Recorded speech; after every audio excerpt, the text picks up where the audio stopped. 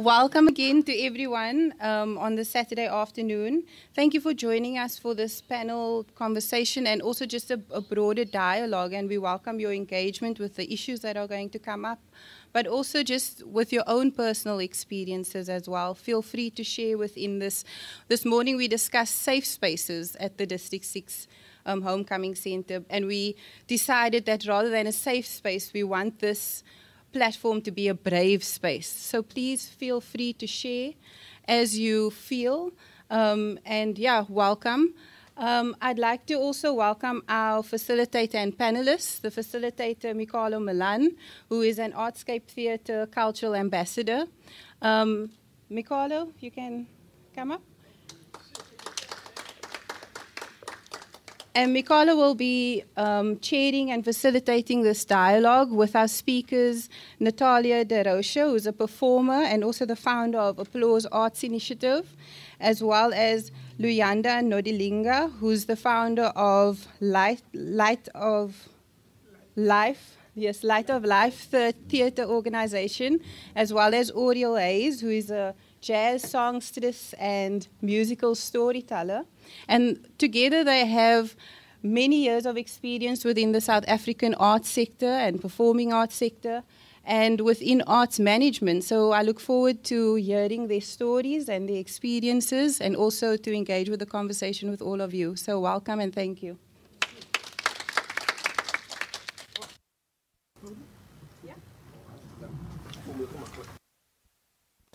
All right. Is this the microphone that I'm using? You see, if you're from Artscape um, or you're influenced or touched by Artscape in any way, everything has to be dramatic. you know? I mean, you, you can see my CEO come in and says like, hello. So these things happen, you know, these things happen. Um, it mean I have to stand at the podium. I might not be on TV, but I'm going to be on one TV, which is YouTube, um, and that would suffice. So, ladies and gentlemen, once again, good afternoon. Assalamu alaikum wa rahmatullahi wa barakatuh. Molweni, ndiyathemba niyaphila. Um, ek af all right, so the name is indeed Mikalo Lulamile Milan. Um, I'm not deliberate in saying the second name Lulamile. It's just that when you someone like me in the arts environment, um, who may not be in the arts because of a talent that he strives and builds his life on, such as these panelists here, who every day on the road perform, acting also. Mine is a more developmental aspect. Uh, I play more developmental role uh, because I'm, I, I would describe myself as a development volunteer. You know, it's the best way to describe it because I work in various aspects and in various parts um, of development, be it youth development, be it um, organizational development, be it capacity building, be it using the arts as a tool to achieving objectives that see us rise above the circumstance and more so over having young people do what they can do best. Now, my talent is om nonsense te praat. Um, MC and host here in some events, some events there. Speel 'n bietjie rolspeel here and there, but I mean that element is very much key and important. So what's the interesting part about me describing myself, introducing myself as Mikalo Lulamile Milan? I am this young man born within a close family that is mixed with a sense of colored um, family too. Oma's kleerling, opa's Xhosa, bymekaar gekom maak hulle and they've done what they've done. So yeah, I am a black man with a white surname. It only benefits me, not the next person, I can assure you. So if I'm running away from debits in the month, it always suits me so well because when I get a call from any other consultant or, or any person who calls me, it's very easy for me to just change my tone, you know. Ek jag hoor van 'n boereman wat in Yanga bly. Praat, you know. So it's very easy in that way. So, yeah, let me welcome you to this initiative by Cornerstone, a very, very, very packed venue today. So, yeah, we must embrace it. And let's say Davida 2 and 3 is a claw means. I'm not preaching, don't worry, not being biblical. So, indeed, the theme that we are under here, ladies and gentlemen, is one that is informed by the simple context of lessons and successes within the context of managing the arts in South Africa. When I got the call from Toby and I was um, asked to come and be part of this initiative, I mean, you become hesitant a bit before you accept any invitation because you first have to ensure Verstaan wat die aangaan? Do I know what they're talking about? Is the engagement one that's clear? I think it's one of those themes that highlight or that bring together everything that we know and everything that we are part of. And it's important that it's broken down in those three spheres and three levels. And as I said to the panelists, I mean, it's clear. Lessons, what are these lessons that we've learned? In South Africa, that's the democracy is still young, 25 years of age. Its successes are clear and obvious it's faced with its challenges, it combats a lot of challenges and tackles them selectively. However, not wanting to be vocal or protesting, in as much as I'm not an artist who earns a living through art, it still does not, just like the clothing sector, it still disregards the arts for what the arts is and the value that the arts has for all of our artists. Just recently, we got back from France, Toulouse, and we learned that in France, 21 million euros is signed off just for arts alone and nothing else at all. So we have to be um, critical of these things and we have to engage these things. But I mean, part of a program like this, which is which says um, reclaim, you know, reclaiming our communities, reclaiming our society, reclaiming who we are in thought and in thinking, but more so over, it's about reclaiming the key positions reclaiming the key ideologies of those who played a pivotal role in a South Africa that has learned a lot of lessons within its lifetime, growing from apartheid years and having the arts as at the forefront of many of the challenges that it found itself at that time. But then we also go into what is the successes thereof. And that's exactly what these panelists will also touch on. What are the successful stories from these lessons that we have learned? And what's important is it boils down to one fact. Before freedom, there was arts. Arts could have been done anywhere, at any time, at any place. Where do we find ourselves now? We find our arts managed in various ways. How is this arts managed? You cannot just come and play your guitar here and bask anytime in Sea Point. Don't bask here. Do you have a basking permit here? You don't bask here. No longer is there the freedom of really just coming down and just playing a song or melody or two. I can't just stand and talk much on a corner as I would like to because in this in the simple terms it's clear that society has now changed into a different environment. So how is this arts managed? And i think they will look at it from their own perspectives and their own, own understanding of this context. And i think for cornerstone what's important is that we engage this theme we speak about this theme so as to ensure that we broaden the minds of those outside that we ensure that we tell the young person who sits at home and says i want to become a singer but i don't think i can make it tell them there are challenges here there are lessons we've learned. There are success stories to be told. They can be part of that. And this arts can be managed in such a way that they can grow beyond their circumstance and beyond who they are. So, ladies and gentlemen, that's what it is today. And that is the program that I'll be facilitating um, in today's program. Julle kan nou sien hoekom ek. Nou die tong loop, loop. Overtime. I'm just warming up. I've got a huge event later on, so I'm just warming up for that. So, ladies and gentlemen, you've got all your panelists here. Um, indeed, a diverse group of panelists. Let me just put that to you in a nutshell. Very diverse. I stated this. Um, I said this to Janine in the week, and I said, Janine, don't stress, don't worry. You're losing some panelists. Let me help you out. I'll get you some few names. And I mean, these are names that were very key to me, not because of the fact that I know them or that I've worked with them, but because there is really a story to be told in line with this theme today: lessons and successes in the context of managing arts in South Africa. Here you have a veteran one who's been all over, who's known by all. She knows, she knows people who we look up to. She has tea with them. Osis Togo. Oh, you know, she's with them all. She knows the big names. You then have a young man like Luyanda. I know he looks like that managing guy who manages the boxes in America. What's his name? King or whatever. His hair just has to go grey. That's all that has to happen. So, I mean, you have Luyanda here, a young man a young man indeed, and I'm not going to make this racial, but I mean a young black man in a panel with women also, and it's great to see that women are empowered. Two women against one man. Don't count me in. And then obviously you have an artist in the form of Oriel Hayes. Um, and I think indeed, ladies and gentlemen, you must agree with me that this panel is indeed one that is balanced and it speaks from different backgrounds. Not only different backgrounds, but it's diverse, not because of the color that we see, don't worry, Talucha, you are the breaking point. Don't worry. so it's not to say it's diverse in that nature because of that. It's diverse because of what they do. It's diverse because of what I do. Who would have thought that someone would want to call himself someone in the arts? And I've always contended this thing. You must be an artist. Luyanda would always say, You're not an artist, you. You're nothing, you. This thing of emceeing and being dramatic and making jokes and talking to people and playing role play for two minutes, that's not art. not art, that thing say what is art. And I think Cornerstone, this is the kind of discussions we must have for the future. What is the arts? Is the arts really about Luyanda just being a play, uh, artist on the stage at Artscape or Baxter? And is the arts?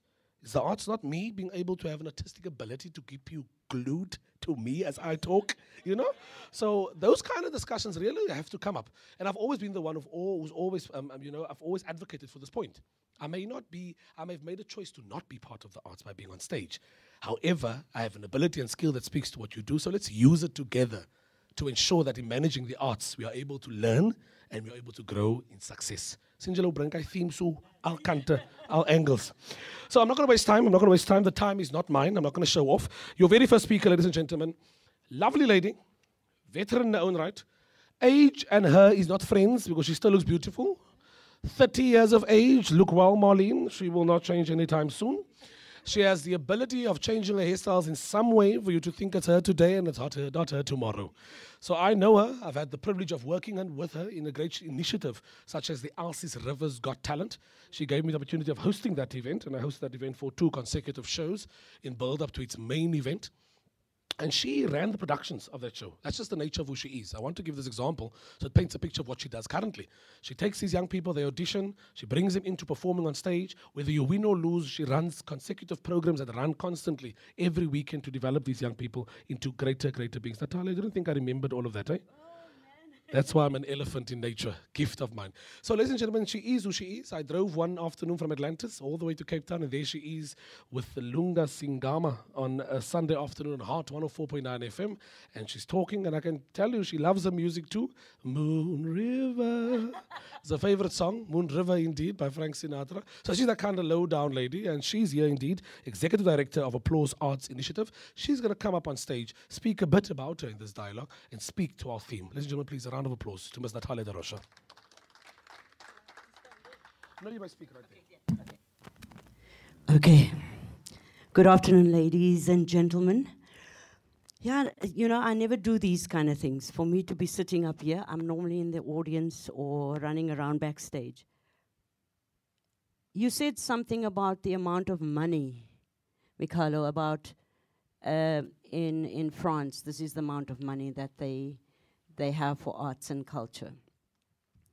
I had two artists in from for Solo Africa Festival, and I had to say what amount I will pay them, otherwise they would not be allowed to come to South Africa.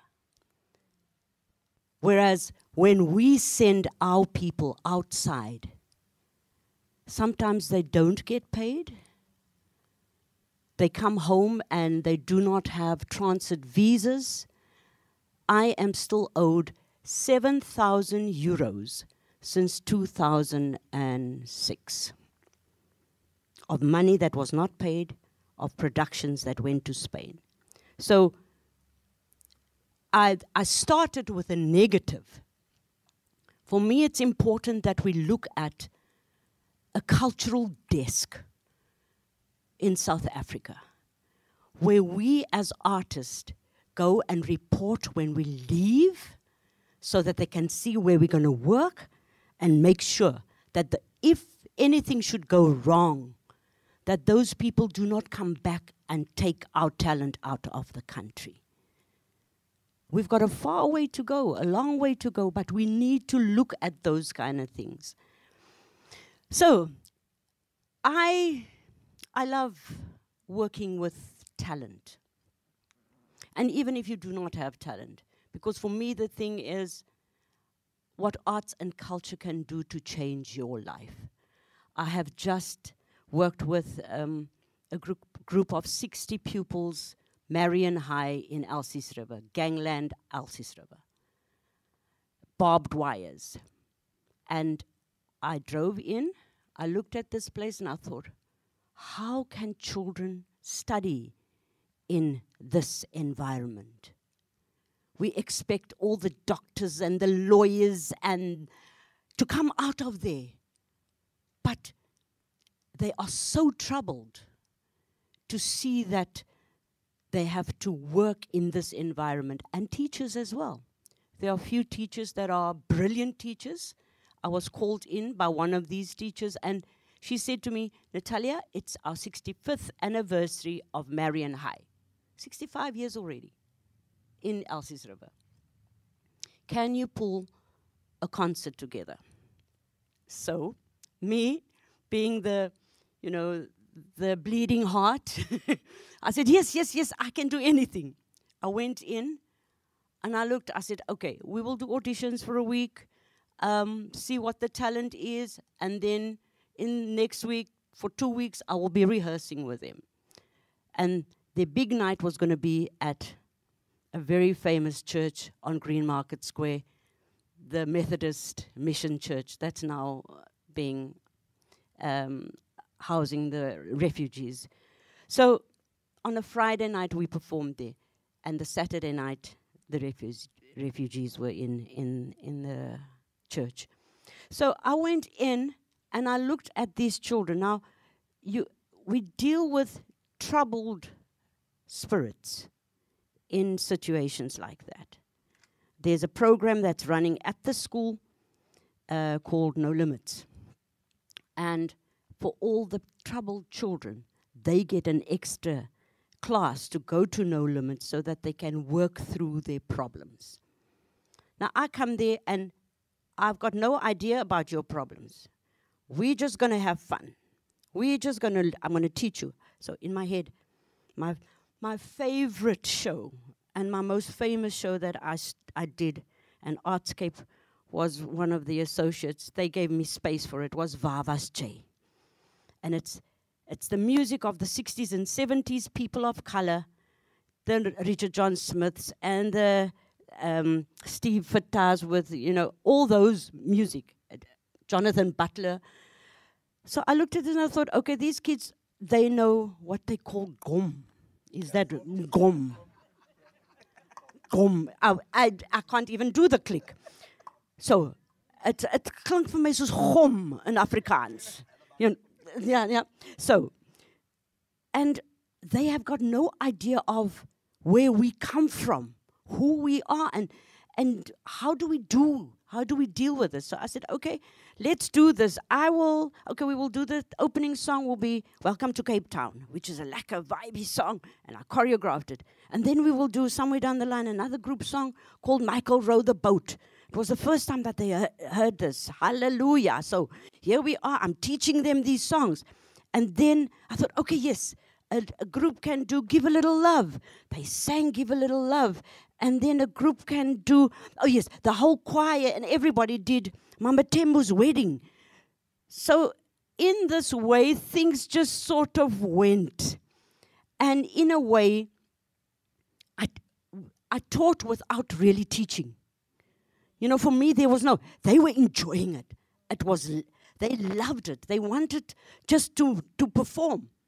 I get now on WhatsApp, Natalia, when are we going to perform again? Natalia, when are we doing this? So those are the things, and I feel sad that I cannot go back to that school to build on what we have, what I've just done for two weeks, for three weeks with them, because.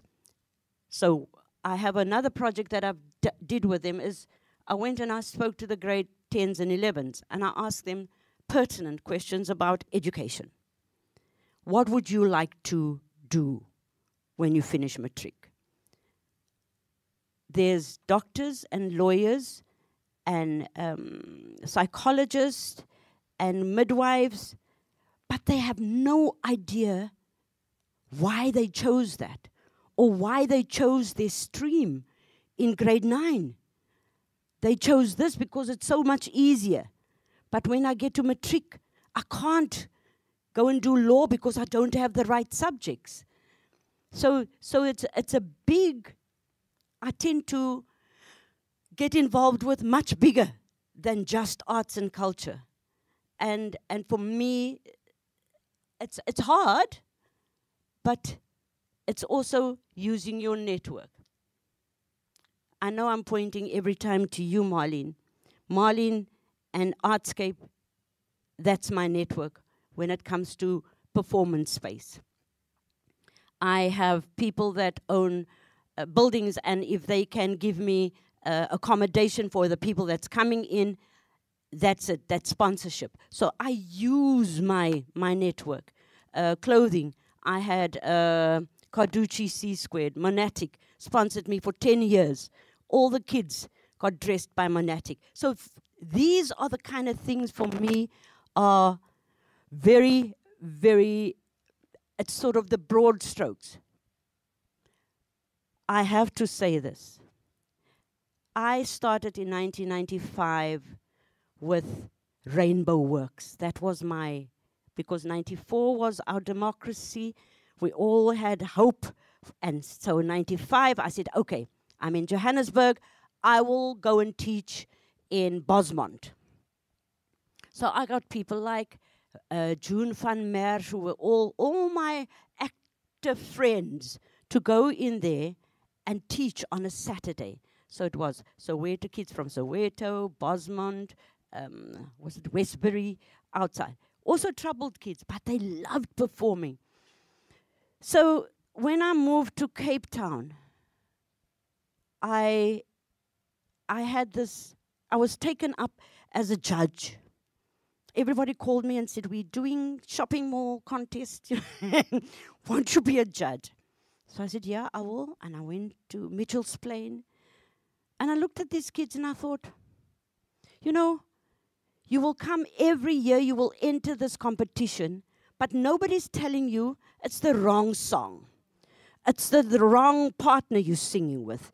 You're not looking, you know, you need to look good on stage. Nobody's teaching you that. And that is where the first applause shows start, came from.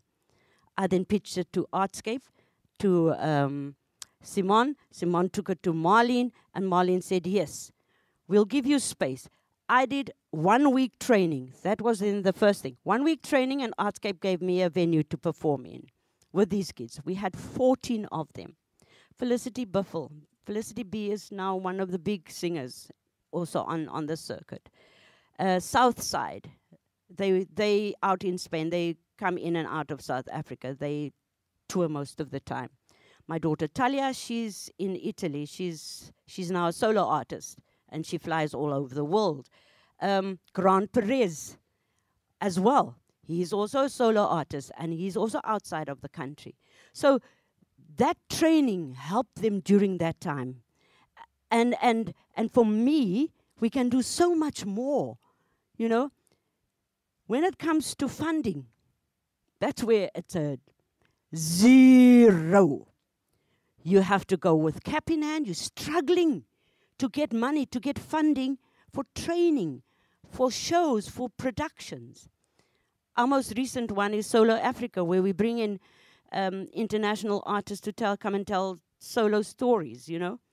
We, on our side in South Africa, it is we telling our own story. I have my own personal story to tell, and the people that we train, we get them to tell their stories. Because in telling your story, you start healing and and you also start healing um, your your people. So for three years we have had no funding. Marlene has come on board as as a associate with the venue, but it is a struggle. I always say to people, NGO, NPO, NPC, you can have it, yes, but the funding is non existent. We do not even know about critical skills in our arts and culture, in our creative industry. We need to find out where we need to train to give them the skills and where we don't need to train. Everybody's got, everybody, there's lots of community groups. How do we bring them under one umbrella where we can give them the necessary skills? So, it's been a long haul. You know, um, applause started in 2002. What's it now? 17 years, Marlene. It's been a long walk. And freedom is not in sight yet. It's also the sad part of it is we are subsidizing, even with our little bit that we have, we are subsidizing development in this country. I think I'll leave it at that. All right. A round of applause to Ms. Natalia Da Rosa. Thank you very much for that one, Natalia. Very key message that comes out there, ladies and gentlemen. Um, and I think it's one that speaks to a vital point, you know. Um, are we really free? Um, and the questions are, and speaks very much to our theme too, you know. Um, is the art, although manageable, really succeeding? Um, although we have we've heard quite a few lessons that one can learn from the challenges faced by Ms. Da Rosa, and it's lessons that are key. Um, lessons that speak to the fact that within the circumstance of those who have nothing or young children, there is indeed opportunities of growth. There is indeed success stories that can be told out of what they are willing to provide and give towards our country. But I'm going to come back to you, uh, Mr. Rocha. because die TV met full presenter, you know, live on USA. So I'm going to come back to you, ma'am. Um, I'm going to move to the next panelist, ladies and gentlemen. I was going to say kwathinta abafazi, kwathinta imbokodo. But then again, let me not be that way, you know? Let me let it flow in that way because we don't want a reality where now I'm being told that, hey, yabona ke, cultural, uyamosha ke ngoku. You're not doing the right thing. So, ladies and gentlemen, an honor I have of knowing this gentleman, very much personally so. Um, a true, true reflection of what is great. A true reflection of that lesson that you spoke about, Mr. Rocha, about how there's nothing and you become something. Um, elder to me, I, I still call him Uncle Luyanda, which in our language is obviously Talucha or Put Luyanda. A great story to be told, what I'm not going to tell myself, that he will tell himself. We met on a youth program known as the High Schools Program. It's a youth initiative aimed at building holistic leadership via capacity, capacity building workshops with the aim of creating and you know creating and bringing about young leaders from different schools to help them create initiatives and programs to tackle and you know the social challenges that we face in and around our schools. So, ladies and gentlemen, he's all the way from Cryfo, Cryfo. Don't say Kraaifontein anymore. It's Cryfo. You know, he's from Kraaifontein, that one township and you and, and settlement, informal settlement area that has a lot of famous places. France. What other places are there? Country places, France. I mean, someone asked me, Carlo, where you off to? I want the taxi going to Barcelona. Barcelona? You know? So people don't know that, people don't know Inyanga next. I don't know if you know, if you drive from the airport, that if you turn to- you turn from the airport to your right, Borcherds Quarry, and you're onto the N2 on your left hand side, that settlement, that is Barcelona. So please, it's great. And Lusaka, you know, Zambia. So they're next to the gravesite, the cemetery, so it is Barcelona. Ladies and gentlemen, please, a warm, warm welcome to Mr. Luyanda Notilinga. Good afternoon. My name is Luyanda Notilinga. I am from Kraaifontein. While I was listening to Umama next to me, I was thinking, okay, what am I gonna say? And then, like, he is talking about the, I think, success stories about arts. So, what I can say, I started arts when I was in primary school actually, I think I was forced to do arts because uh, my friend, when I think I was doing grade two that time, he forced me to do uh, uh, this is called two hander, but that I didn't even know what is two hander. So he took me, he gave me some lines that we will rehearse and perform in the school hall. Then we went and sit there and perform. People loved it. So that was the first show I did in front of the lots of people. And then I said, no, it's fine. I didn't continue with it. So as I grew up, I always had an interest of being a social worker. And as you grew up, it always changes what you want and, and, and so forth. But when I came to Cape Town, uh, I was introduced to soccer. I was very good in soccer, but I realized that uh, I, I think I love uh, speaking to people more than playing soccer.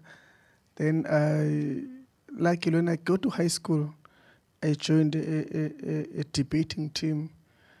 I mean, my English was not good, so I was always the one who was doing the research and everything, but I was never the one who was sitting to do the debating. Then I hear there's a drama society or intramural in my school. I joined the drama. I started now going to rehearsals and everything. So I remember the first performance I did when I was in school was in 2005. And my first performance, because the same was in art, you don't give the back to the audience when you perform. So when I perform, we were playing like the dice and everything. So I gave the back to the audience while I was doing that. And I was crit- criticized for that. Okay. So moving on from that, in in Kraaifontein, where I'm coming from, from 2007, 8, 9, there was no drama organization in the community. So as I was studying Hector Peterson, we decided that when we matriculated, the guys I started the Light of Life with, they matriculated in 2007, then I matriculated in 2008. So 2009, we said, okay, guys, since we did drama at school as an extramural, what can we do now to continue what we did at school? Then we started to to come together, conceptualize and talking about what can we do Then we decided let's open our own arts organization. So actually in 2009, that was the revolution of arts in Kraaifontein, especially in Wallaston and Bloemfontein. Then we started to, to form a Light of Life theatre organization. And then the other groups called Maibuye started uh, four months after us, and then other groups started to join now. I think we've got plus 10, plus minus 10 organizations now at the moment in, in, in Kraaifontein. So we're one of those oldest organizations, starting from 2009. They were before us, but the revolution started in our time. So while we were busy now, uh, starting Light of Life, like uh, community-wise, you have your your Athlone, your Cape Town, your Khayelitsha, your Nyanga. Those are already well-established uh, communities in, in, in terms of arts. So we're always uh, not competing as much, but competing with Khayelitsha because every time there's a performance in Khayelitsha, we're always shivering like, ish. we're gonna get there. There's good actors and everything there. So we started uh, engaging and having shows. So one of those weak organizations when you attended those uh, festivals and everything, they were bad when you started. We're always coming out as the last organization. But we didn't lose faith. We continued to have people coming in, helping with us, and it started to become a, a household a community organization. So from 2013, that was a breaking point for the organization to grow. So, because at that time we we participated in Zabalaza Festival in Baxter, we did good. Then we managed also to to go to Artscape to be part of the high school drama festival. So the first time we we we entered uh, Artscape High School Drama Festival, we won the festival. So we are so excited, like okay, we can do this thing because we always must when we're in school, we always must know there's one performance that every year that you need to look up to because you need to go to perform in August in Artscape High School Drama Festival. I think that's the festival that launched lots of the artists, especially in, in, in, in Cape Town, because when you perform in Artscape in that festival, it gives you a platform to look more where to, to do grow and everything. So first time we entered, we won the festival. Then we started now to continue going to Artscape, going to Zabalaza Festival in Baxter, grew the organization. So part of talking about the the success story in 2016, we participated in Zabalaza. Luckily, in Artscape, they started a program called Incubator Program, I think in 2016. So I was lucky to, to, to be in connection. One of the uh, guys who were part of that incubator program, so he told me I must, I must connect with Uprastix. May he soul rest in peace. I, uh, every time Mama Marlene, every time we go to high school drama festival, we're scared of plastics. the, the way he was. so when they told me I must make an appointment, I was like, Ish, what am I going to say to that man? and I was like three hours late to that meeting because, uh, uh, man. so, so when I go there, actually, uh, Metro Rail, obvious was, he's got the good story about Metro Rail, like delaying and stopping in the process. So the train stops at, at, at not Koeberg, yeah, at Koeberg. So from Koeberg, I had to walk from Koeberg, uh, Salt River, Woodstock, and Cape Town. So I walked there. So when I get to Artscape, Prastix was already out of the office.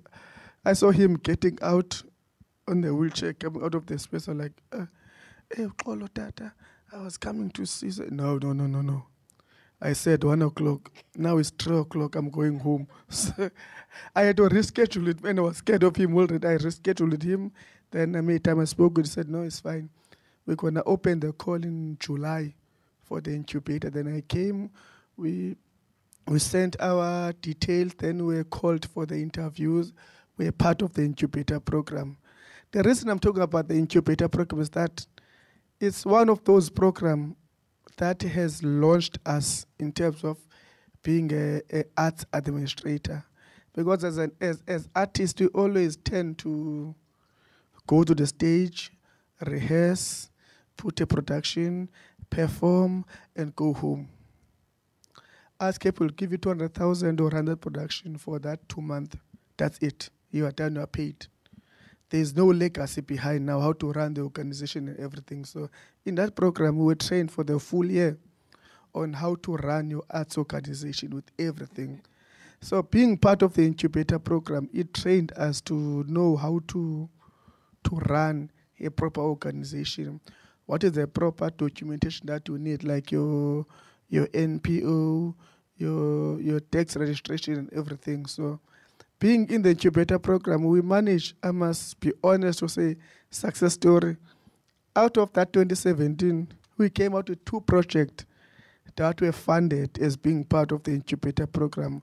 We funded about the Western Cape Federation. First time getting 45,000, like, yes, yes, can we get this amount of money? Then it was given to us. We were funded also by Learning Trust, came to us being part of the incubator program. So we were really dedicated to part of that program.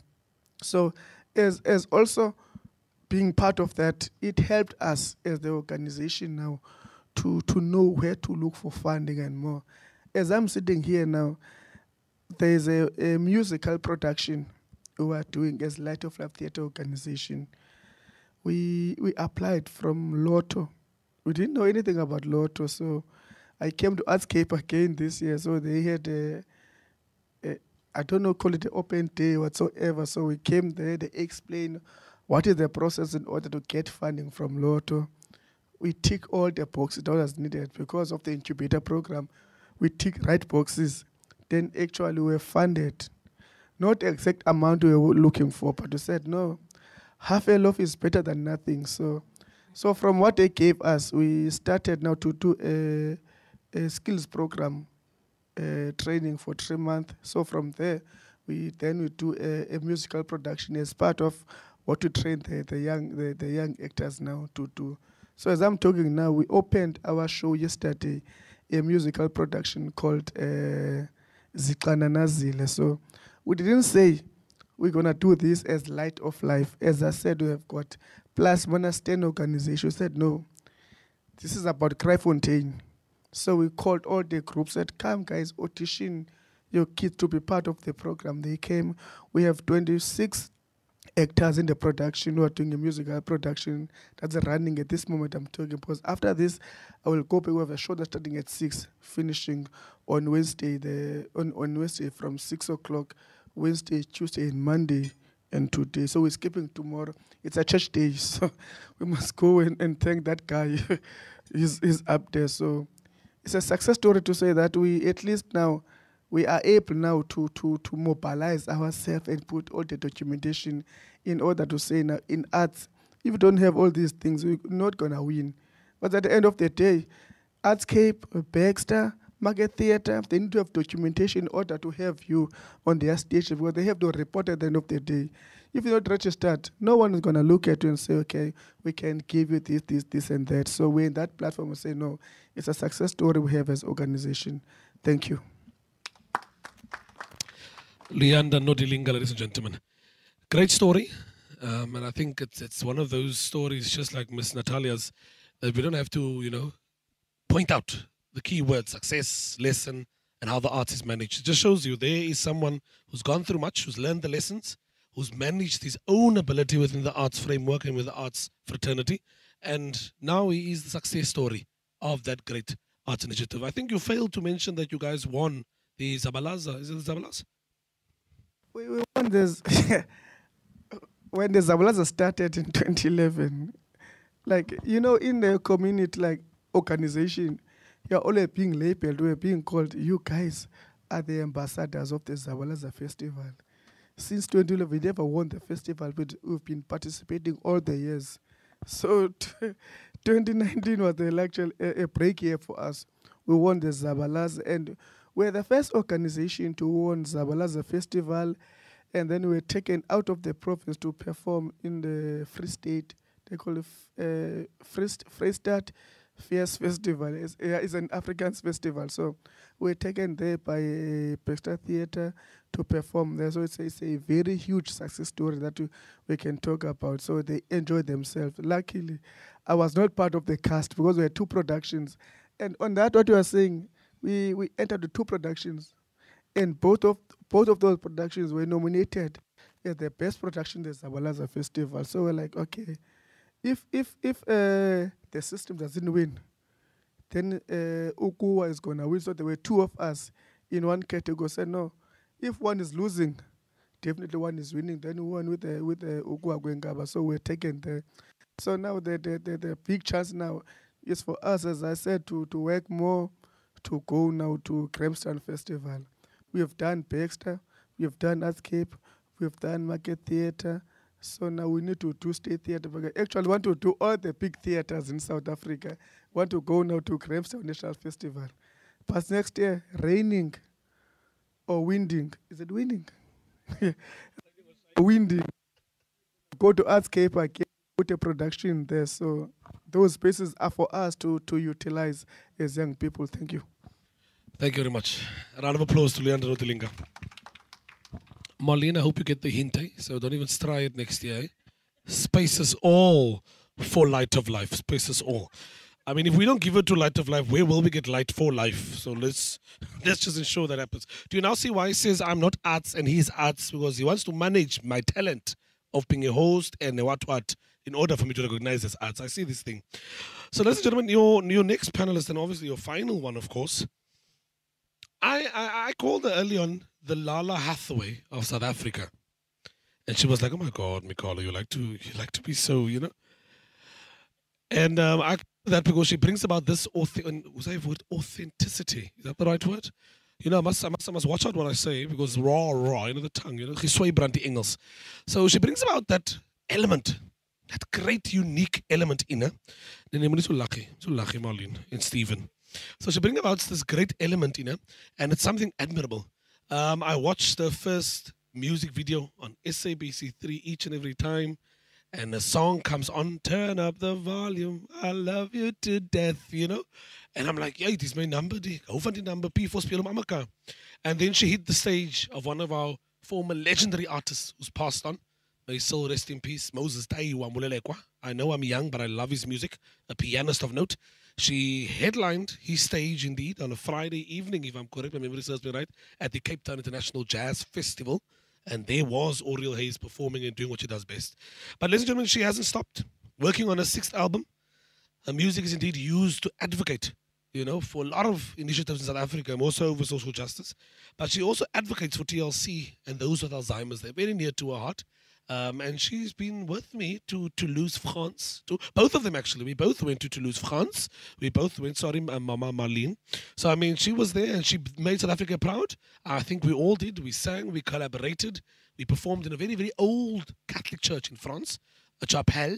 No longer a chapelle, but they drink in the chapelle and they party in the chapelle. No need to worry. It's one of those X-Men scenery churches where everything is broken, demolished, but it has this this jam vibe. There's music, there's seating, uh, there's everything. So trust us as South Africans who are jet lagged to sleep first for five hours before we performed. And people are like coming in thinking we're part of the artwork. As a do it, leave her, as a little do it.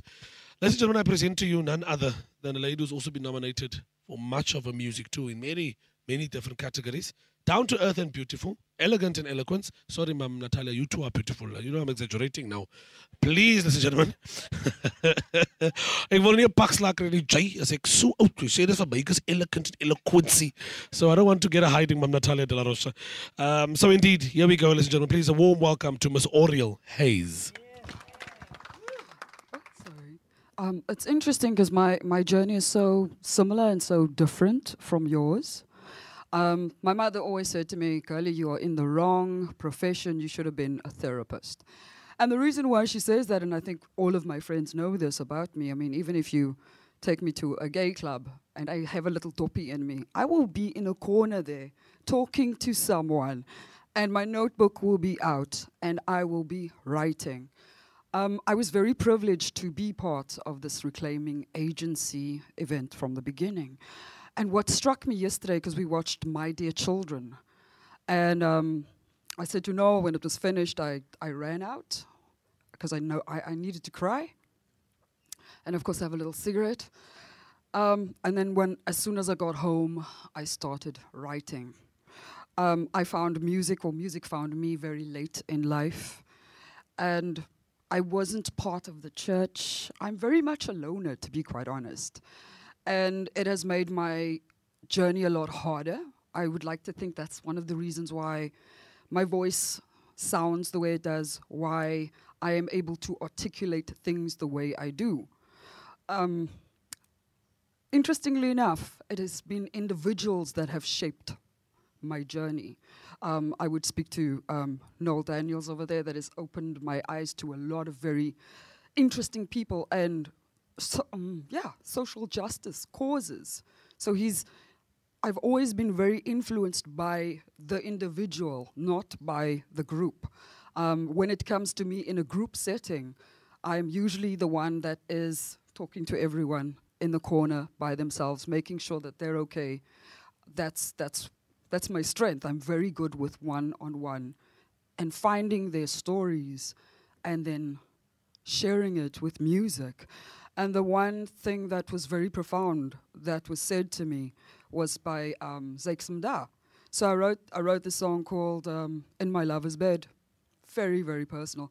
And he was, when I write music, I send it to people I trust first. You know, there you go. Listen to the song these people know me so well that even if I use the same chord structure, they will say, Keki, that sounds no. If, you know, uh-uh, don't do that. And you can't write a song where you're whistling all the time. Stop it. Um, so I sent the song to him. And I was very nervous because that was one of the songs that was very emotional to write. And then he said something to me which really changed everything. He said to me, my, my, darling, if you can't tell your own story and be honest about your own story, how can you tell the stories of others? And so now I do consider myself as a musical storyteller. And the reason why I mentioned the importance of this initiative by Cornerstone was that I sort of realized there are so many, there are so many different ways that you can reclaim yourself, your power, your there are different ways that you can do that. Everyone here, um, my friends and a lady I would like to get to know better.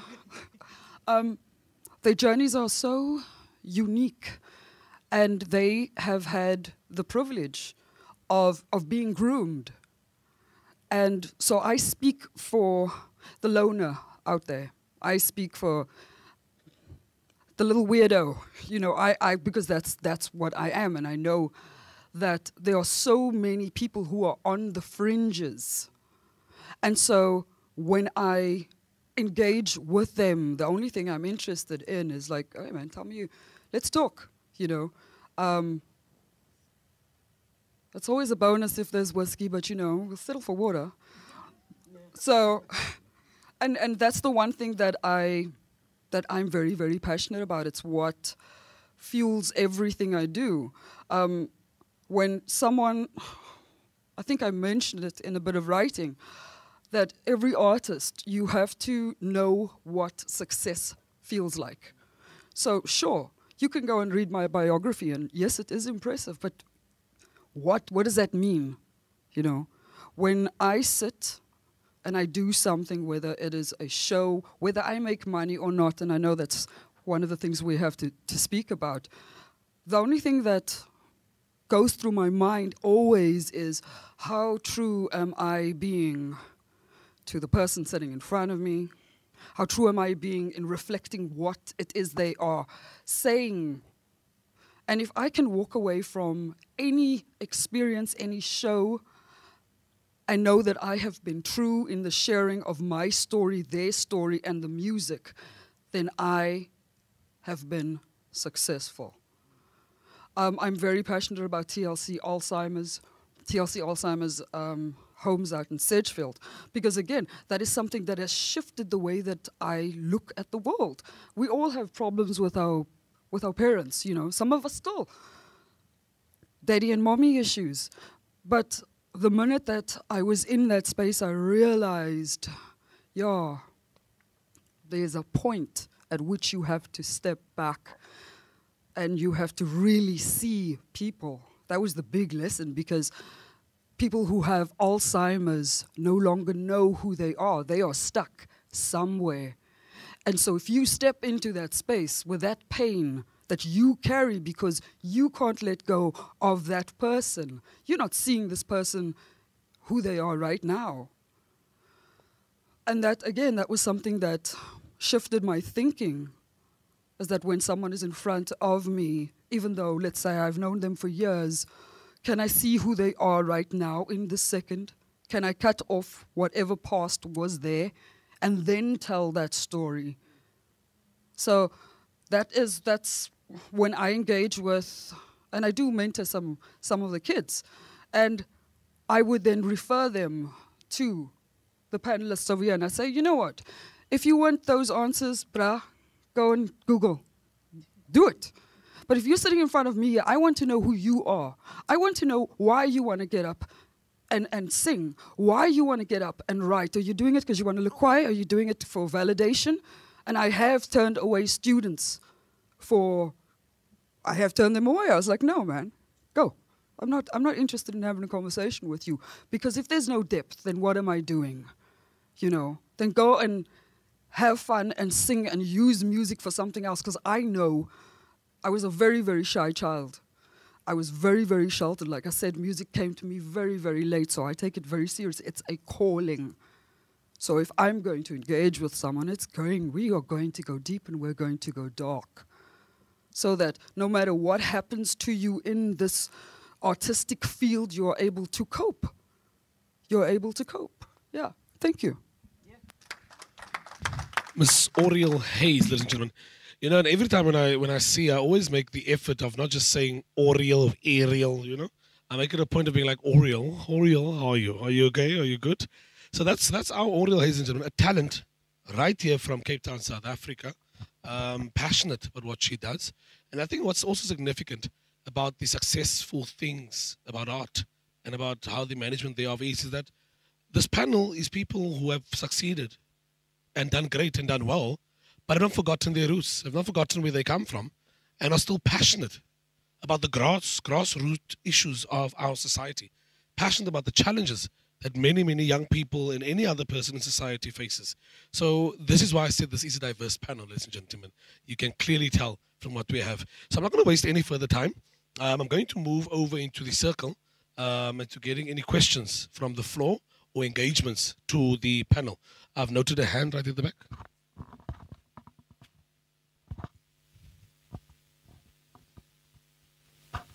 Thank you, Chair. Um, this funding, this funding um, problem has been with the arts people as long as I can know, and I admire you for your um, tenacity, your long loopbaan and so on and so on. And somebody phoned the other day and they said they're tired of Mr. I'm not going to discuss personalities. They said the, the, the current minister is a minister of condolences, and that's all that he does.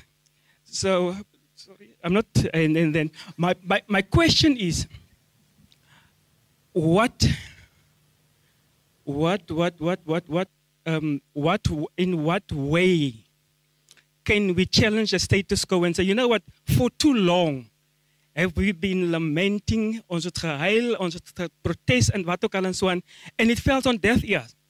Uh, two months ago, a couple of weeks ago, there was this uh, uh um, um, after she wrote a letter, open letter to Dingas and saying how they are being abused by, by, by, by, by this so-called famous couple.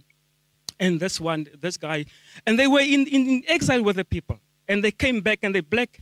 And they treat them worse than the apartheid sorry people treat them with, as far as money is concerned. So my question is, what more can we do to, to, to, to once and for all address this funding crisis of the arts? That's number one. Number two is, Mr. Chair, met jou toestemming, kan jy vir my sê in die verre verlede jy miskien 'n gemeenskaplike voorouder met die met die beroemde Dr Daniel van Malan. Ek los daar. All right. My word. All right, that's indeed the uh wees dom. Ek ek kyk my land is nou net die voordeel, uh maar ek weet jy miskien moet ek gaan opsoek doen en navraag doen. Uh miskien ken iets iets wat ek nie ken nie. Um ek kan u sê ek ken my pa het gehad seep gekoop, verkeerde seep gekoop. Hy moet bingo gekoop het, miskien sal hy gehak het. Uh maar toe koop hy nou surf and he's been surfing all the way. So miskien gaan u vir my help met iets. So so there's one there's one there's one aspect that comes up. Um and that's a key one. So let me go over to you panelists in as much as I want to also engage that point. Um, and as you can hear, I think the first one speaks a lot to, to, to the current status quo. The challenges that a lot of the concerns that arise, and unfortunately, it always goes around funding. It's always around the money. The money will always be the first buck because we needed to sustain programs, we needed to sustain initiatives. I think the first debate was clear in the, in the past. It was always that have programs, sustain yourselves. You are sustaining yourselves now, but however, the finance still becomes a challenge. And there's a clear indication, I mean, with Vatis Wandaga going out there, speaking vocally about the treatment and how artists are treated. Dit is of julle medical benefits nie, but okay. Nou weet ek en as 'n advocate, you see, that's why I'm here. I'm a law student also, so I must advocate for these things in future. But panelists on this issue, how do we come together and how do we build a path that is different and alternative that finds us fixing this this this concern around finance? Okay, um, I I was on the commission for three years. Once, and as a group, it was the first time that they had all NGO people that have been in uh, arts and culture and running their own companies. Okay, so we looked at what the the, the they were giving five and ten thousand rand to groups. What can you do with five and ten thousand rand? You can do absolutely nothing. We came in and said 30,000 should be the minimum that you can give them for a project if, if it's a small company, if that's what they want. So I would say that we need to push for more funding in as arts and culture in that way because now we you know i don't know i don't know how they divide it whether it's x amount of 35 million or x or 100 million or what but you also everything falls under then you have the what they call the big 5 the big 5 i don't know if they're still around but the big 5 the opera and the ballet and the orchestra and i don't know whatever it is they get um, 50% or more of that funding. And then there's a very little for community development for all the other organizations. So you cannot ask for 150 or 200,000 rand for a project. You cannot. You won't get it. You know? So what we've got to ask for is that they make that money more. Yes, the opera is there. Yes, the ballet is there. Yes, you know those those the orchestra is there. They do need funding. What we've got to find out, say, is we need more for grassroots training.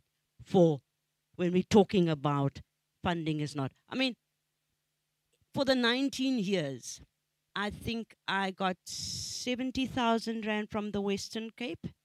70, maybe 100,000 rand all in all from the Western Cape. 19 years. The other money came from my husband's pocket. you know, so how, how do we, because we believe in what we do, we will do it for nothing. But there comes a time when you need to have, you need to pay your rent, you need to have, have uh, petrol in your tank, the electricity and stuff like that. Those are all things that we teach our children. You know, when when I do, how do you put a budget together for yourself? First, put a budget together for yourself. How much does it cost for me to be in my household? And then, then you can't have people doing it for nothing or running an organization with no money. So, I mean, uh, it is it's something that we're fighting. I have not been very vocal in because I I lost my faith in in fighting in big groups since SIFSA. I just took a walk away. But we need to get together as artists, but really and with no other agenda but to make things happen on the ground. Because there are too many egos that's running. And they the people that come in. And, you know, yeah, it's a bit, bit sad. Over to you, Taluja, on that view on what way forward. A- As a young person, it's difficult sometimes to to represent the, the older generation. But I think for us as young people at this time, we need to organize ourselves. I will go back to the incubator program that was done by Artscape, Market Theatre, uh, Playhouse, yeah, and, and State Theatre. But that program really helped us to, to be able to run organizations. Because for us as artists, we always think about me going to stage and perform, uh, and, and, and that's it. So now, like for, for, for, for this problem we're facing now with Umamu Vatiswa Ndara is that our generation need to, to know all the measures that are there. For example, if we talk about royalties and, and, and, and, and signing the contract and everything, so we need to know about things like that. Because now when, when we read about the story about Umamu Vatiswa, she wanted a million. Then she went down to 700,000. But the soap now gave her 70,000. But you don't know how much that the soap generate when the, the, the show is aired, like, uh, like because the, it's, it's third season now. So there's millions that are being made. So there, there- there's no emphasis on the artist on how to save. I know what how much are you making now? Because like if you shoot something, you shoot it now, like like like like like like in November. It's gonna air maybe in December next year. You you you got paid now. So now the society have got now. Uh, when they see you on TV now in November next year, they're like, ah, you have money now, but you've already paid your peanuts now. So that show is coming that time later. So what I, what I want to say is that if we can try, especially for the younger generation, to give more emphasis on on training us on how to manage ourselves, on how to know what is it that we can do in order to, to, to know when to sign a contract, what are you binding yourself and everything. So it will help you now to go forward as an artist. At the end of the day, South Africa needs to change. And like other countries, art must be taken as a as a serious thing because we not cannot be treated as a, as, as extramural because part of the government budget arts, I think arts only get maybe 1% of the total budget that is given by the government. But in, if you don't invest in young people now, because not all of us are going to be doctors. Hence, we've got lots of junkies and drug and everything now because young people have got nothing to do. Because if you know this child can sing, push her to the, to the, to the school that can train her to sing and make money. In while she or he is in primary school and everything, because, because in South Africa, we're always, we're always late at 21 now you want to go to university to start music your vocal cords and other things are not well shaped anymore now but if you start at that younger generation you can have a better society going forward thank you I think I think it, it really does come back to education. Um, we need to really redefine. We we all know that music and art that there's value to it, but take a look at what the kids are actually listening to. So you need to ask them, what is this music that you're listening to? You need to link it. You need to give it greater value, and it starts when they're that small, because those little kids they're watching the television and the music is being bastardized. The television it's it's the biggest load of crap. And so their minds have, have already been damaged in terms of how what art is and how to express it. So if it's and i agree this artists should get together but there's a completely other layer to it and it, it's it's foundational. It really really is. It's about giving art the the meaning. And and especially if you think about South Africa I mean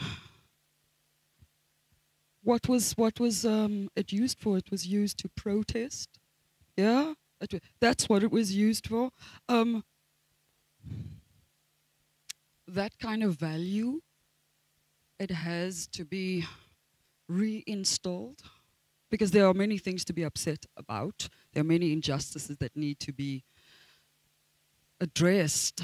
But again, for me, it is about educate, education and saying like, okay, this is this, that's the crap music you listen to, and we're going to show you. We're going to show you the magic of it. Because if it starts there, then it would get reflected on the televisions, and then do you do you see what I'm saying in terms of the the knock-on effect? Wow. All right. So I'll move over again to the floor. Um, I'll just have to hope that we are still within the time because I know originally we were to be done by four. So let's just go through it quickly. I'll go first with Marlene and then I'll go to you, ma'am. Then I'll come to you, ma'am. And then I'll see the ma'am here with the purple. Uh, I think I want to put it a little bit in context. Forget about where I come from now. Now I'm going to talk about the complexity. It's we had an ACTAG process. Let me take you back a little bit. Where previously, if we look at our landscape as the arts, there was the theatre was, there was the drama company, there was that previously. Then we had ACTAG. And we as activists, we then mobilize that the theatres are totally on its own. Then we will have funding organizations to level the playing fields. So as artists, we expected artists to at least mobilize like, like you have done in order, that's why we started the incubated process. We, we were the only, we are still the only theatre that has a resource center. Okay? And the resource center specifically was based on the basis of where we come from. Because we need to know, if you know your history, you can reclaim so that it doesn't happen again. Okay? The resource center was mainly started because of the cultural commission. There are laws that is governed that is sometimes not conducive for the people. The Public Management Financial Act. Let me start with that. The Treasury regulations. Okay? The tax law. You don't have a tax certificate. Am I right, brother? Ne? All of that. Ne? So, my good grief. So we've realized, my good grief, our artists will never be able to perform if they need to have all of these things. We started the resource center. Then, secondly, there was the National Arts Council.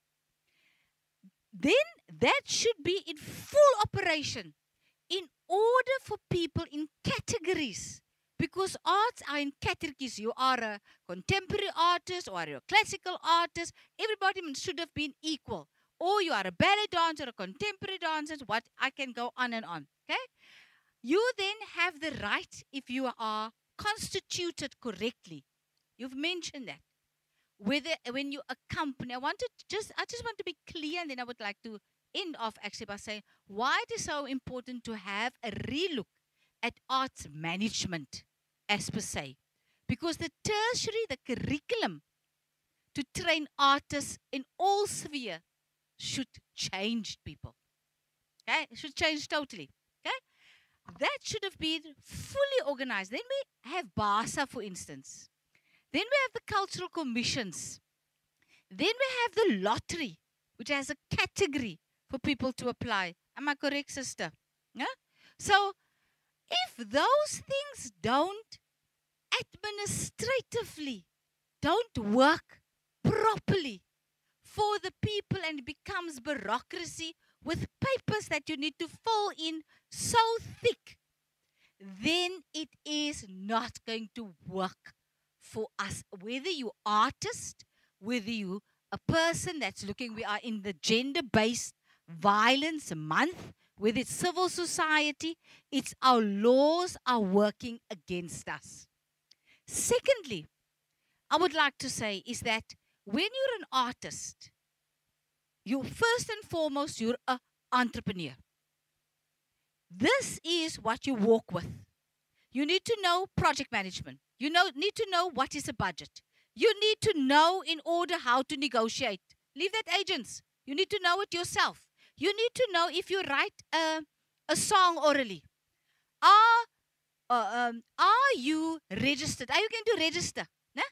That's why we say the minister's condolences because, first and foremost, we need to pay for the funerals because the artist doesn't register their work. That's why there's SAMRO. Is SAMRO operating correctly? There's DALRO. Is DALRO operating? Because if you're writing a script, so there I can go on and on and on. We need to affay ourselves organize ourselves properly so that you can step into the space and start to argue not from an emotional basis, but from a perspective basis and from a knowledgeable basis. And then you need to say, if that person who has been appointed to be the CEO is not working out, you must go. You must really go. Because you are an obstruction. Okay? Because very important, now that we were sport, we now a department for sports, arts and culture. Yes, yes, yes. Let us just take that a little bit. oh, I'm really going to lose my job, but I must talk about it. I must I must talk about it. Sports are organized. I just want to say to you. No, they've got clubs. They're 100% organized, man. So I want to say, organize yourself. No? So if you get for a gig 30,000 rand to sing two songs, hello, go invest your money, man. Don't cry afterwards. No? The reason why I'm saying this is that we now, it's the time now. We need to say to Natalia, Natalia, we have failed you. We have failed you so many Natalias, we failed. You should have had a company that has been fully operated and should have toured this country first and not just tour overseas. That's, that's, that's our main thing. Then we need to say, why is this budget like this and not like that? It's extremely important elements. We can't just see ourselves as being just social awareness. We need to have that. But if I'm a brilliant singer, I first and foremost want to be a brilliant singer. And I want to be recognized as a singer or a dancer. And not only to be invited to sing for a course. Finish a now, man. Yeah? We can't just be gig uh, uh, orientated. We should regard the arts as a science. So, two things I want to leave at the cinema with, and to leave it with Cornerstone in particular. Number one, the education department from pre primary should start with arts as a subject, with skills trained teachers back into the schools. Okay? Very important. Because the rudiments of reading is exactly the rudiments of music. If you can read music, you can become a jazz artist, contemporary singing, you can write your songs, all of it. Then you are not, I'm just making off one genre, you're then not dependent on Bonita, who was privileged to be in those schools where you pay a lot of money to have a music teacher. Let us level the playing fields there. Then the second factor is that when you go to universities, is to unpack what students should have in order to equip them not only to be stars. I just want to be clear. We need arts administrators. My God, somebody must take over my job. Okay? Yeah? You need to be able to know how are you going to run a theater if you can't even run yourself. Because a theater has different components. You need to know finance. You need to know the Health and Safety Act. You need to know exactly project management. You need to be able to know the finance terms that we're talking about. You need to be able, it's got nothing to do with the arts. The arts is the last thing on that. That's why we started the incubator pro- program for you to come to understand. Hello, if you run a company, you need to know what is a worksheet. You need to know what is a technical rider. You need to know how is that, what is that light going to cost. That's why I'm sitting with Sister Bonita to say, Sister Bonita, you got money perhaps, but maybe that money is not enough. Ne? So, in order for you, you need to be equipped, people. It's about that. So, it's a relook. So, a drama student who sometimes has a master's comes to the theater. No. You or you have studied music. The curriculum is about to become a concert pianist. There you are. Perhaps only one out of 50 is a concert pianist. So I'm pleading to Cornerstone. If we want to reclaim agency, we need to reclaim our curriculum. Thank you. Thank you very much, Ms. Marlene. Not only a very, very vital source of information, a character, you know, can see Artscape cannot lose Marlene at all. If we lose Marlene, we lose that aspect, you know. But yeah, but you can see things are tensions. He's always talking about naughty. Opas I think say naughty, but talk about Nati. You, you know, Nati. So over to you, ma'am. Um, before I get to my second, to my last. Oh, you are covered. No, thank you very much. Yeah, what? No, you may go. Yeah, okay. Let's go. Um, so, hi, my name is Shakira. Uh, my company's name is That Network, and we provide creative and artistic services to corporates, and we train um, aspiring creatives with the soft skills they need, like invoicing and email etiquette, etc., to be able to work with those corporates. Um, oh, sorry. Oh, sorry, sorry. Okay. Um, so I, I was making quite a bit of notes, and some of it's covered, so I'm just going to go through them and we can pick up wherever we want. Um, Uriel, I really loved what you said about valuing the arts. Um, I'm very intimidated to be sitting in this group of esteemed people who've been working in the industry. Um, but yeah, I, I really um, resonated with what you said about, because I feel like as a country, and particularly our government, doesn't value the arts. Uh, and you can see that with many bills. I mean, I work a little bit in the book industry also, and then there's the Copyright Amendment Bill, which also doesn't, you know, that says on its own, we don't value your work, you know. Um, and then the fact that also with this Department of Sports, Arts and Culture, that also says we don't value the arts. And I think that's one of the biggest problems in that, that there's no value in it.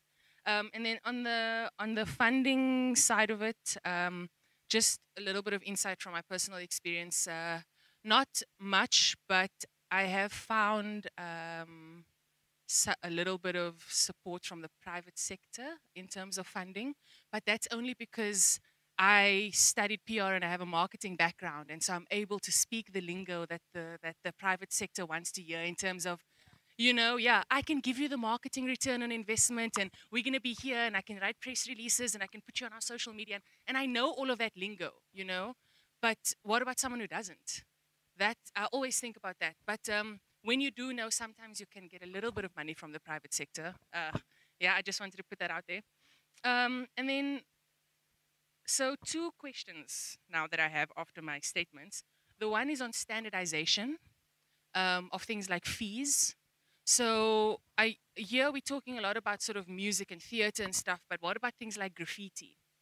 Um, and and I mean even graphic design and illustrators they kind of usually someone who's a graffiti artist is an illustrator is a graphic designer. Um, and even dance you know when I book artists and the artists that I work with I can get for the exact same gig a quote of 500 rand and a quote of 5,000 rand and a quote of 15,000 rand for the same job. And so I'm just I mean there are obviously places like SAFREA that put out their standard rates and recommendations, but they're recommendations. And how many people even know that SAFREA exists? You know, I just came from the privilege talk, and and I know and I'm aware of the fact that my privilege to be able to go to university and grow up in the house that I grew up gave me the the skills, you know, to research, to use the internet wisely, and that's how I know a lot of these things. But let's be honest, most South African artists who are coming from townships or wherever they're coming from, they don't have these skills. Um, so standardization, should we be standardizing um, how much we charge for creative services or artistic services, whatever you want to call them? Uh, and then the other thing is around mental health.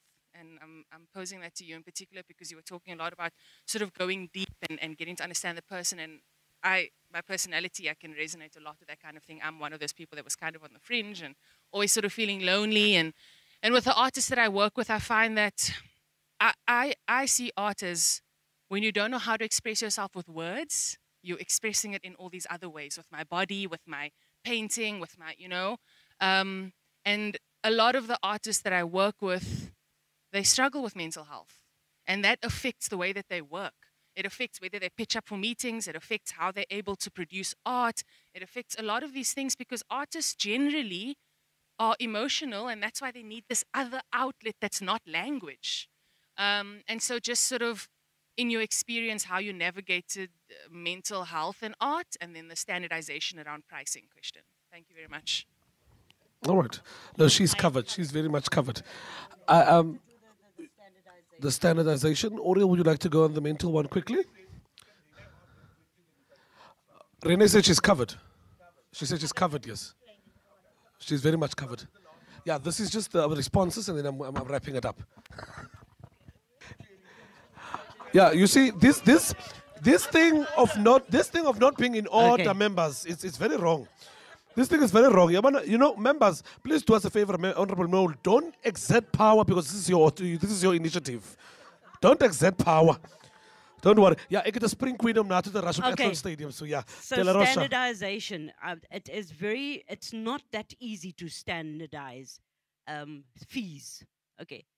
For me, the, the thing that is why I brought up, we need a skills audit in our industry. Because some of us are trained and some of us are untrained. So how do you standardize that? You know, and, and this is something, and Marlene uh, touched on it when you teach uh, performers at university, you've got to give them more information as to when they go out. It's not just being on stage and stuff like that. You must know how to put an invoice together. You must know how to quote. You must know about your fee.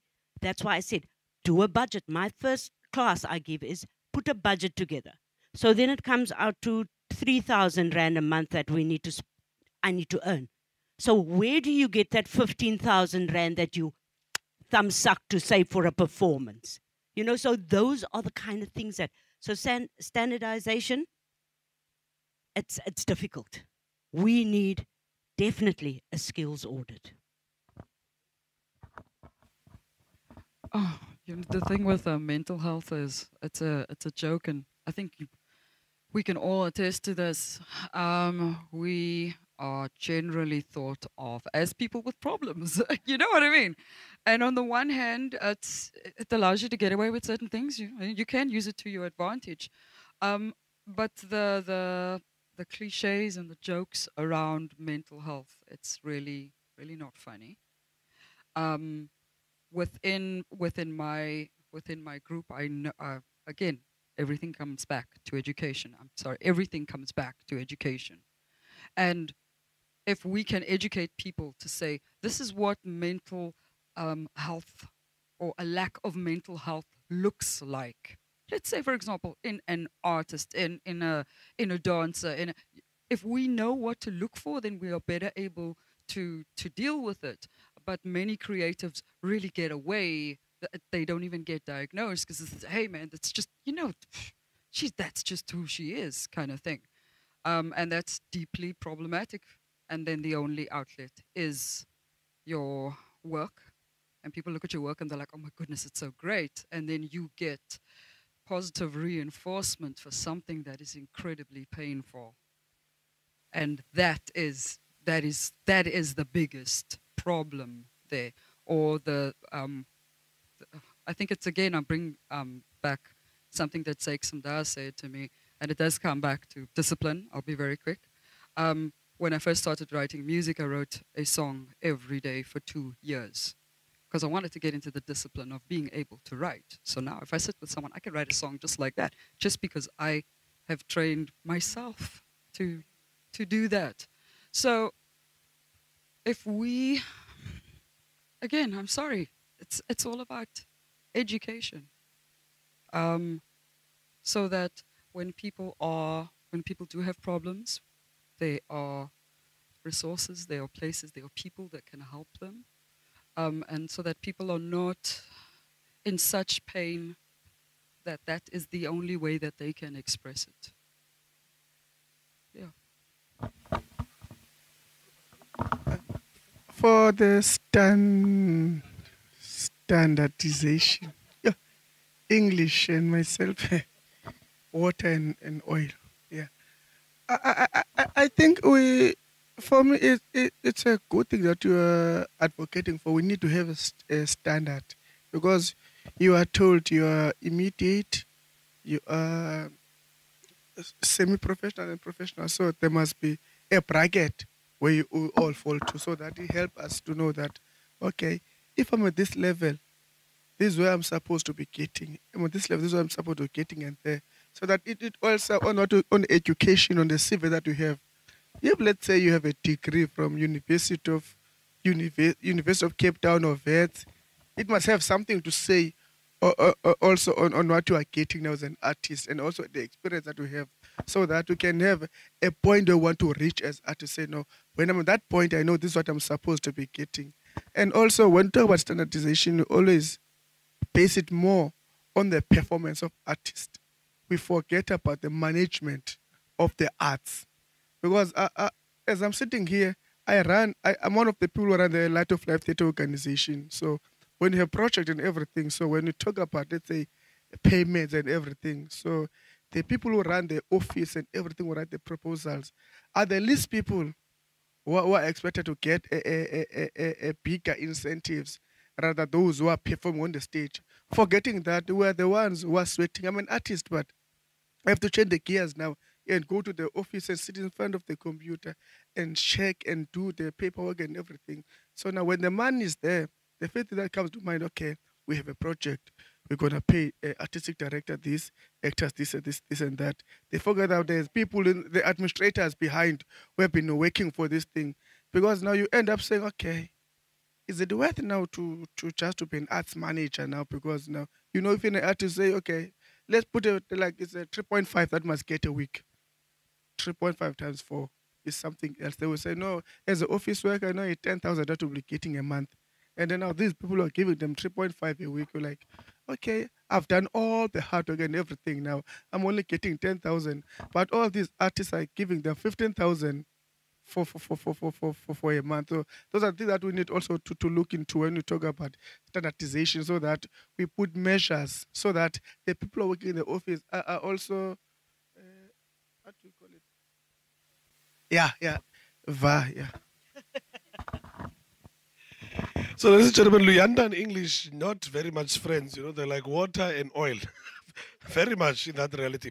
So, I think more than anything else, ladies and gentlemen, as we close off and as I sum everything up, I think the very key message that stands out under this theme lessons and success managing arts in South Africa. I think the message is clear.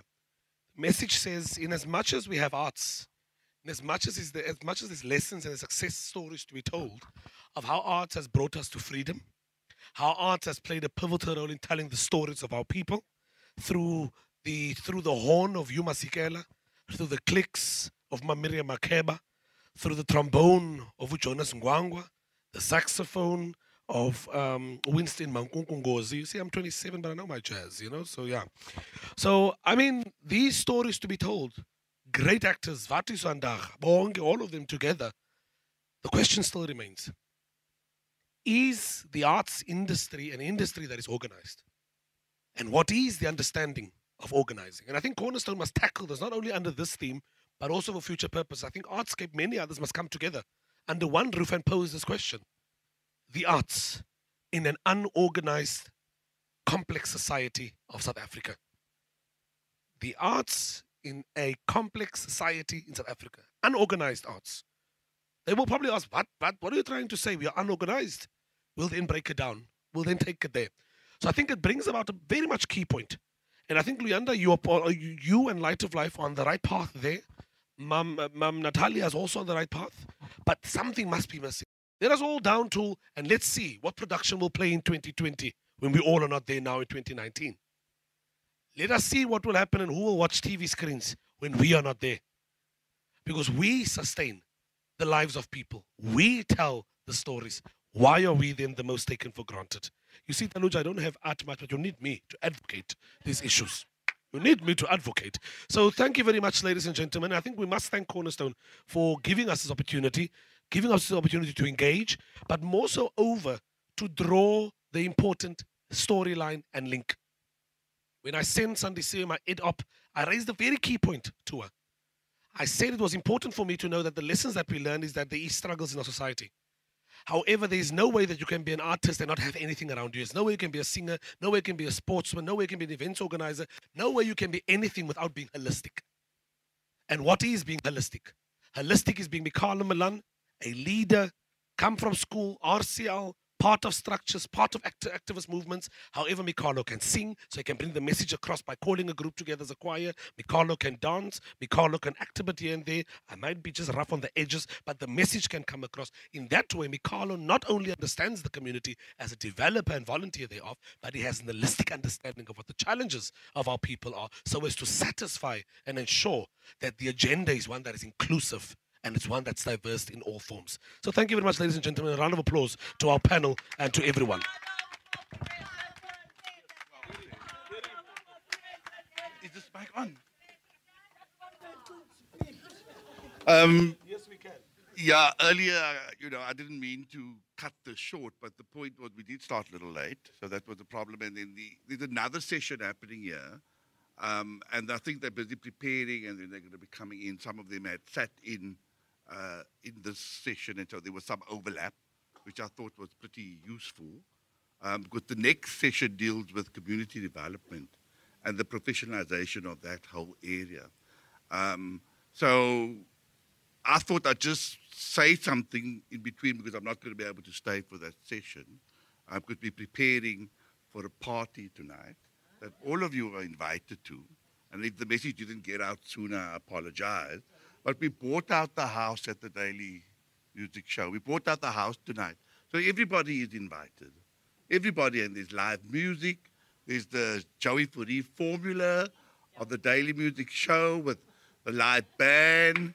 And there is, you know, there is food and there's wine, local cuisine. And uh, we will be actually doing some closing remarks around the Reclaiming Agency because Joey Furi and the Daily Music Show is part of the partnership. Um, the Cape Culture Collective um, has been actively involved as well in this partnership. Um, but I just wanted to say something about the fact that this event is being amplified. And I want everybody to know that. That it's not just here that this, conversa- this conversation is going to end. First of all, as you know, it's been live streamed. Secondly, we have our own video recording and Joshua and the media team is taking responsibility for getting that onto our website, getting that onto social media, and spreading the messages that came out of today's conversation beyond this room.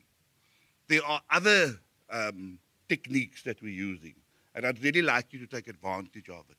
The one is that we, the, the recording, the audio recording of this conversation today will be broadcast on Bush Radio. And the way that Bush Radio does it is they break it up into segments. So they make an hour segment and another hour segment. And then the third segment, we invite another group of panelists who could overlap with this group of panelists to talk about the conversation that we had today. So that in, in that way, we're hoping to make this exponential. A mathematics term of saying how we wanted to grow at a rapid rate to get it out there. But there's also another partner in the group, and that's the Argus, the Cape Argus. And everybody in this room, we're asking you to write your stories, to write opinion pieces about what it is that you experienced here today, what it is that you heard, what it is that you think. And those pieces that you write will get published in the Argus as op-ed pieces. And Sandy Siwe sitting over there, she's our person, she's our communications officer at Cornerstone. She collects all of those inputs from you, and she takes those inputs and she then ensures, working with the Cape Argus editor, Aziz Hartley, she ensures that it gets published, because as you can see, the Cape Argus is also a partner. Today we received a wonderful article from Jacob Meiring, who spoke about the experience of watching the District 6 rising from the, the dust um, um, documentary last night. I want to um, sort of end this by, you would have heard Oriel saying that after watching uh, My Dear Children, she was very emotional yesterday morning and left and then had to write. And so she wrote a blog, and the last paragraph of a blog says, There might be a great deal about my past that I do not know, many injustices that cause me great distress. But my mother and grandmother said, We are never as alone as we fear we are. And hope is indeed all around us. Just open your eyes, your being, your home, your heart. There is a path, a somewhere else, a hopeful place. And perhaps all I need to do is allow the silence to overwhelm me, to remove whatever personal angst I face, and not only reclaim, but reimagine the world I want to step in every day. Thank you, Uri. Very, very powerful words there, which talks to what it is that we want to do when we run the series and what it is that we want to do when we commune with you in making this happen. So I can't thank you enough. Uh, Janine wants to thank the panel personally, and then we've got a few gifts that we'd like to hand over to you before we hand over to the next session. Janine, don't you? Okay. Name. Okay. So thank you again for your time and for your open engagement with the topic and for your honesty as well. Um, Mikalo, Natalia, Luyanda, Luyanda, and Oriel, thank you so much. And we look forward to engaging with you in the future. And we hope that this is just the beginning of an ongoing conversation about reclaiming agency in the arts. Thank you so much.